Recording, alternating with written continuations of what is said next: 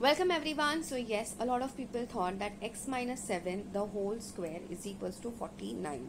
Now in this case, a lot of people thought that this can be done orally. Literally, people thought that this is basically 7 square, right?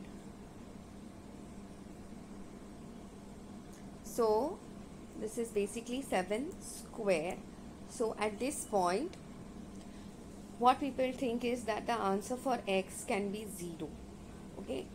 But please understand that 7 x minus 7 the whole square is equal to 49 which can be written as 7 square.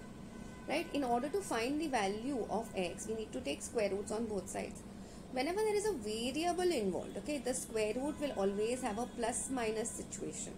So i will say x minus 7 is equals to 7 or i will say x minus 7 is equals to minus 7 so we have over here adding 7 on both sides. So we have x is equals to 7 plus 7 which is 14 and here we have x is equals to minus 7 plus 7 which is equals to 0.